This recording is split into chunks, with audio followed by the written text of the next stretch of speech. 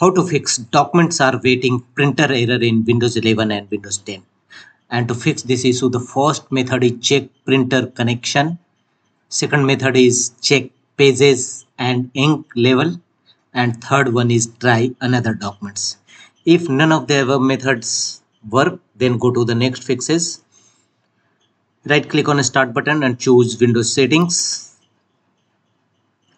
Here go to system settings from the left pane go to right side and choose troubleshoot. Other troubleshooters and run the printer troubleshooter. Click on run and follow on screen instruction to complete the troubleshooting process of printer related issue. Searching for self-help articles follow on screen instruction and check whether your error is resolved or not. If not go to the next fixes.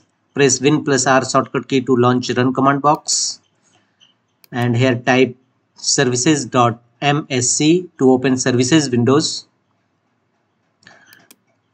And in services windows look for printer spooler services.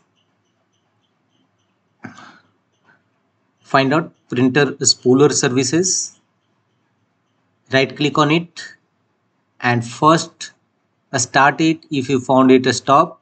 Otherwise choose restart print spooler services to fix this printer error. Documents are waiting in windows 11 and windows 10 apply double click on it under startup type choose automatic and ok to save the changes. The third method is update printer driver. Right click on start button choose device manager. And here go to print queue option print queue driver